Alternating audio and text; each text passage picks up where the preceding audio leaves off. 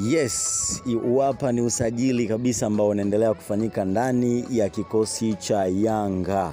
Yeah, ndani ya kikosi cha Yanga baada ya Zawadi Peter Mauya uh, kuweza kutia saini mkataba wa miaka miwili, lakini baada tena ya Bakari Nondo Mwamnyeto kuweza kutia saini ya miaka miwili, lakini pia pamoja na Yasin Mustafa Salum kutoka Polisi Tanzania kutia saini ya miaka miwili. Sasa ni zamu ya mwingine, ni nani kutoka Mbao FC? Anaitwa anaitwa Waziri Junior kutoka Mbao FC ambaye ametia saini pia ya miaka miwili.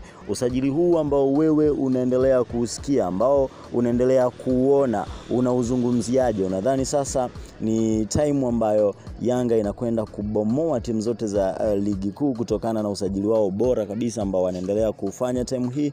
Hebu acha komenti yako kupitia hapa hapa Msala TV, kwa sababu tunaendelea kukupatia kile unachostahili ndani ya muda mwafaka. Niseme asante sana na karibu.